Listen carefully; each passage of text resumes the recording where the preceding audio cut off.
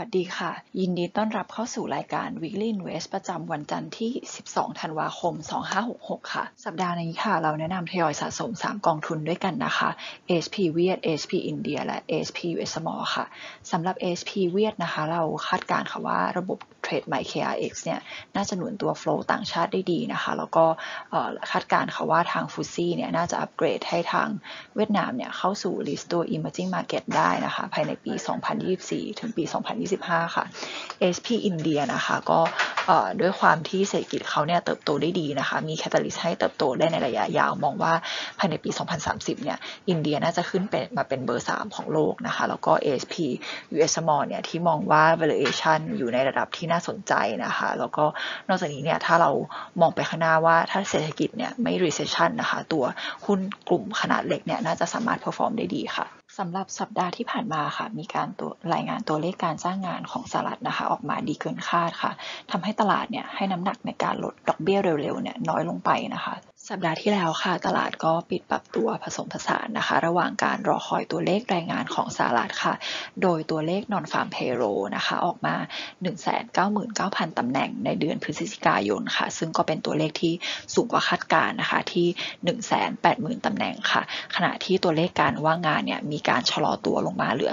3.7%นะคะ ก็บ่งชี้ค่ะว่าตลาดแรงงานเนี่ยยังอยู่ในทิศทางที่แข็งแกร่งนะคะ เพิ่มโอกาสในการที่เฟดเนี่ยจะตรึงดอกเบี้ย higher for longer นะคะ นอกจากนี้เนี่ยระหว่างสัปดาห์ค่ะสหรัฐก็มีการประกาศตัวเลข ADP นะคะหรือว่าการจ้างงานของภาคเอกชนสหรัฐเนี่ยมีการเพิ่มขึ้น 1 0 0 0 0แสนกับอีก 3,000 ตำแหน่งในเดือนพฤศจิกาค่ะ ซึ่งก็ต่ำกว่าคาดการณ์นะคะที่ 1 2 8 0 0 0 ตำแหน่งค่ะ แล้วก็เป็นการชะลอตัวจากเดือนตุลาคมค่ะที่อยู่ที่ 1 0 0 0 0แสนกับอีก 6,000 ตำแหน่งนะคะ นอกจากนี้เนี่ยตัวเลข job opening นะคะ ก็ออกมาต่ำกว่าคาดการค่ะที่ 8.73 ล้านคนนะคะ แล้วก็มีการรายงานตัวเลข ISI ISM Service PMI ในเดือนพฤศจิกายนะคะ ก็ออกมาเพิ่มขึ้นเป็น 52.7 นะคะ จากในเดือนตุลาคมที่อยู่ที่ 51.8 ค่ะ นอกจากนี้ค่ะฝั่งยุโรปนะคะ ก็คณะกรรมาการของยุโรปเนี่ยก็มีการระบุนะคะว่าไม่มีความจำเป็นที่ทาง ECB เนี่ยจะมีการขึ้นอัตราดอกเบี้ยอีกนะคะ หลังจากที่เงินเฟ้อเนี่ยมีการลดลงเกินคาดนะคะแล้วก็มองค่ะว่า ECB เนี่ยจะเริ่มปรับลดอัตราดอกเบี้ยนโยบายในช่วงไตรมาสแรกของปีหน้าค่ะ แล้วก็ประเมินว่าทั้งปี 2024 2024 นะคะ จะมีการปรับลดอัตราดอกเบี้ยลงมา 1.5%นะคะ ส่วนฝั่งญี่ปุ่นเองเนี่ยรองผู้ว่า BOJ ก็มีการส่งสัญญาณออกจากการใช้นโยบายทางการเงินแบบติดลบนะคะ แล้วก็ใกล้ออกจากวงจรเงินเฟอ้อที่อยู่ในระดับต่ำแล้วนะคะ ส่วนค่าเงินเยนเนี่ยตอบรับในทิศทางที่แข็งค่าค่ะ คาดการณ์ค่ะว่าธันวานี้นะคะ จะเริ่มมีการขึ้นอัตราดอกเบี้ยค่ะ ส่วน CPI ของญี่ปุ่นนะคะ ก็ออกมาสูงกว่าคาดการณ์ด้วยนะคะ อยู่ที่ 3.3%ค่ะ ฝั่งจีนนะคะก็ Moody's เนี่ยมีการดาวเกรดเอาลุกจีนแล้วก็ฮ่องกงนะคะ เป็นนกาทีฟเอาลุกค่ะ แล้วก็ยังดาวเกรดธนาคารจีนอีก 8 แห่งด้วยนะคะ จากความกังวลในเรื่องของวินัยทางการคลัง แล้วก็ภาคสังหาของจีนเนี่ยที่ยังซบเซาอยู่ค่ะ อินเดียนะคะบวกได้ 3.5%ปรับตัวดีต่อเนื่องจากสัปดาห์ก่อนหน้านะคะ หลังจากที่ตัวเลข GDP ออกมาดี แล้วก็โฟล์เนี่ยบวกต่อเนื่องด้วยค่ะ ส่วนฝั่งอาเซียนนะคะ เวียดนามก็บวกไป 2%นะคะ โดยที่ Fitch เนี่ยมีการเพิ่มเรตติ้งของเวียดนามนะคะจาก Triple B เป็น Triple B บวกค่ะ จากแนวโน้มในการฟื้นตัวได้ดีในระยะยาวนะคะ นอกจากนี้เนี่ยก็ยังมีตัวเลข FDI ที่ไหลเข้ามาอย่างต่อเนื่องด้วย แล้วสีจิ้นผิงเนี่ยก็กำลังจะเข้าเยือนเวียดนามด้วยนะคะ ก็เป็นสายตอบรับที่ดีนะคะ ส่วนไทยเองเนี่ย year to date นะคะ flow ยังออกอยู่ประมาณ 5,500 ล้านบาทนะคะ ส่วนเงินเฟ้อเนี่ยก็ออกมาชะลอตัวต่อเนื่อง 2 เดือนแล้วนะคะ ซึ่งคาดการณ์ค่ะว่ากนงเนี่ยน่าจะมีการคงอัตราดอกเบี้ยที่ 2.5%ไปนะคะ นอกจากนี้เนี่ยฝั่งไทยก็ยังมีตัวเลขความเชื่อมั่นผู้บริโภคนะคะ ที่สูงที่สุดในรอบ 45 45 เดือนด้วย แล้วก็มีการปรับขึ้นค่าแรงของข้าราชการนะคะ ซึ่งเป้าปีแรกเนี่ยอยู่ที่ 16,500 บาทค่ะ ส่วน bond yield นะคะ 10 ปีเนี่ยก็มีการ rebound ขึ้นมานะคะ หลังจากที่ตลาดแรงงานเนี่ยดีเกินคาดค่ะ สำหรับ sector นะคะหุ้นกลุ่มพลังงานค่ะ ดิ่งลงตามราคาน้ำมันนะคะ หลังจากที่ EIA เนี่ยมีการเผยสต็อกน้ำมันเบนซินนะคะ สูงกว่าคาดอย่างมากที่ 5.4 ล้านบาร์เรลนะคะ แล้วก็กดดันจากอุปสงค์ของจีนเนี่ยที่ยังฟื้นตัวได้ไม่ดีนะคะ แล้วก็กลุ่ม tech เนี่ยมีการบวกขึ้นมาเล็กน้อยนะคะ นอกจากนี้เนี่ยยังมีข่าวอื่นๆ อย่างเช่น AMD นะคะมีการออกผลิตภัณฑ์ใหม่ แล้วก็เคลมว่าจะชนะตัว NVIDIA ได้นะคะ ส่วนราคาน้ำมันค่ะ w WTI นะคะลบไป 3.8%จาก supply ที่เพิ่มมานะคะ ราคาทองคำเนี่ยถูกแรงเทขายนะคะ ต่อเนื่องสวนทางกับ bond yield นะคะ แล้วก็บิตคอยน์เนี่ยบวกได้ดีนะคะ จากสัปดาห์ที่แล้วเนี่ยก็เนื่องจากว่าตลาดเนี่ยยังอยู่ใน risk on mode อยู่นะคะสำหรับประเด็นแรกของเราในสัปดาห์นี้ค่ะ วันนี้ก็มาสองมุมมองคณะกรรมการเฟดนะคะ ก็โดยรวมเนี่ยมีความโดวิชมากขึ้นนะคะ หลังจากที่เงินเฟ้อเนี่ยออกมาชะลอตัวค่ะ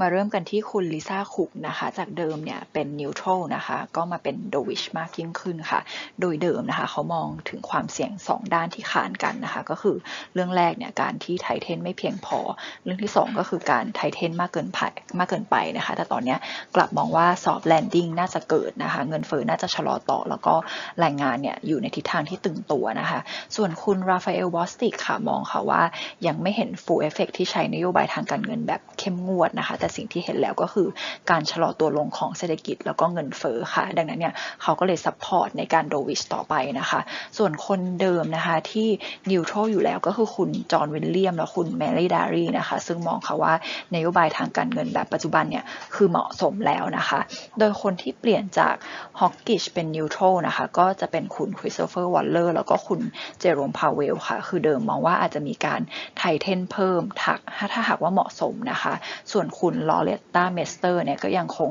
hawkish นิดๆนะคะ บอกว่าระดับดอกเบี้ยปัจจุบันที่ทำให้เฟดเนี่ยเป็นปัจจุบันระดับดอกเบี้ยปัจจุบันเนี่ยก็คือมีโอกาสที่ทำให้เฟดในการประเมินผลกระทบต่อเศรษฐกิจค่ะ ส่วนคุณมิเชลโบแมนนะคะก็ยังคงยืนยันค่ะว่าฮอกกิชเนี่ย ควรจะมีการฮอกกิชเพิ่มเติมนะคะควรจะมีการเพิ่มอัตราดอกเบี้ยต่อไปนะคะ แต่ว่าอย่างไรก็ตามเนี่ยหลังจากที่อัตราเงินเฟ้อของสหรัฐเริ่มชะลอตัวลงเนี่ยเจ้าหน้าที่ระดับสูงของเฟดเริ่มมีมุมมองที่โดวิชมากยิ่งขึ้นสะท้อนค่ะว่าอัตราดอกเบี้ยเนี่ยได้ถึงจุดพีคแล้วนะคะ แล้วก็คาดการณ์ค่ะว่าช่วงไตรมาสสองของปีหน้าเนี่ยเฟดน่าจะเริ่มมีการปรับลดอัตราดอกเบี้ยลงเป็นครั้งแรกนะคะ ประเด็นถัดมาค่ะ แม้ว่าตลาดหุ้นจีนนะคะ มี valuation ที่ถูกแต่ว่าต่างชาติค่ะ กลับแห่เข้าลงทุนในอินเดียอย่างต่อเนื่องนะคะ โดยในช่วงต้นปีนะคะ ตลาดหุ้นจีนเนี่ยก็มีการปรับตัวดีขึ้นได้นะคะ จากความคาดหวังในเรื่องของการเปิดเมืองเนี่ยที่จะทำให้เศรษฐกิจเนี่ยค่อยๆ ฟื้นตัวดีขึ้นได้นะคะ แต่ว่าท้ายที่สุดแล้วเนี่ยก็ไม่ได้เป็นไปตามคาดการณ์นะคะ ก็เศรษฐกิจเนี่ยไม่ได้โตดีตามคาดก็เลยทำให้เกิดเงินไหลออก แล้วก็เข้าไปสู่ตลาดหุ้นอินเดียแทนนะคะ แม้ว่าจะมีมูลค่าพื้นฐานที่แพงกว่าค่ะ ซึ่งถ้าดูตัว base PE ratio ของตัว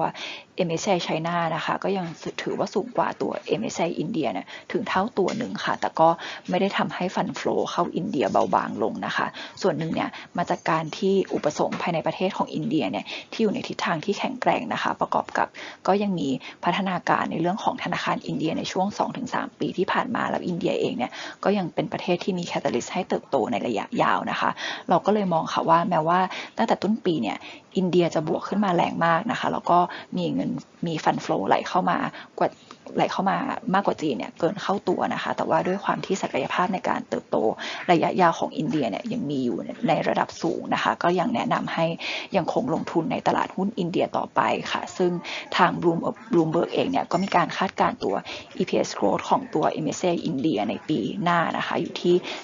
16.6%ค่ะในขณะที่ของจีนเนี่ยอยู่ที่ 14.7%นะคะ ประเด็นสุดท้ายของเราในวันนี้นะคะ ก็คาดการณ์ค่ะว่าระบบเทรดใหม่ KRX นะคะ จะช่วยหนุนเวียดนามค่ะ เข้าสู่ประเทศตลาดเกิดใหม่ได้นะคะ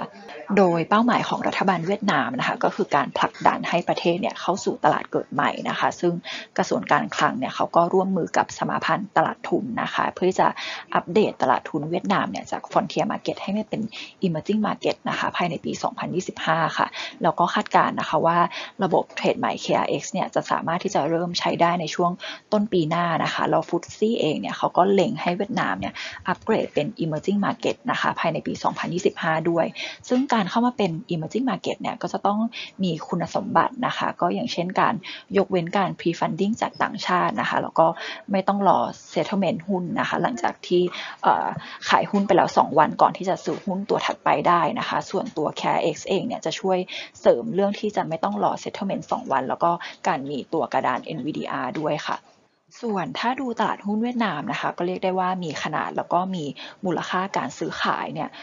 เทียบเคียงกับประเทศตลาดเกิดใหม่ได้เลยนะคะ ซึ่งสัดส่วนของตลาดหุ้นเวียดนามเนี่ยก็บ่งชี้ค่ะว่าเวียดนามเนี่ยค่อนข้างที่จะมีอิทธิพลในตลาด Frontier เลยนะคะ คือตอนนี้เขาก็เป็นเบอร์หนึ่งนะคะใน Frontier Market ก็คือตอนนี้มีขนาดใหญ่ที่สุด แล้วก็ยังทิ้งห่างประเทศอันดับ 2 อย่างค่อนข้างมีนัยสำคัญเลย แล้วก็นอกจากนี้เนี่ยหากเอาตลาดหุ้นเวียดนามเนี่ยแล้วก็มูลค่าการซื้อขายของเขาเนี่ยมาเทียบกับ emerging market นะคะก็จะเห็นได้ว่าเวียดนามเองเนี่ยก็ยังนำ emerging market อยู่หลาย ๆ ประเทศเลยนะคะสำหรับสัปดาห์นี้ค่ะ ก็จะมีการประกาศตัวเลขนะคะ industrial production ของจีนค่ะ ก็คาดการนะคะว่าจะออกมาอยู่ที่ 5.6%ปรับตัวดีจากเดือนก่อนหน้านะคะ ที่อยู่ที่ 4.6%ค่ะ นอกจากนี้ก็จะมีการประชุมของธนาคารกลางต่างๆนะคะ จะมีทั้ง ECB แล้วก็จะมีทั้ง Fed แล้วก็มีทั้ง BOE ด้วยค่ะ ซึ่งคาดการค่ะว่าทั้ง 3 ธนาคารนะคะ จะมีการคงอัตราดอกเบี้ยนโยบายในการประชุมรอบนี้ค่ะ สำหรับ Weekly Invest สัปดาห์นี้มีเพียงเท่านี้ค่ะ พบกันใหม่สัปดาห์หน้านะคะ สวัสดีค่ะ ติดตามข่าวสารอัปเดตเทรนด์การลงทุนกับบลจ Asset p l u s ได้ที่ Asset Plus Fund Management ทั้งช่องทาง Facebook, YouTube และ b ล็อกดิแอปพลิเคชัน ASP Fund ทั้ง Android และ App Store สนใจกองทุน โทร 02 672 1111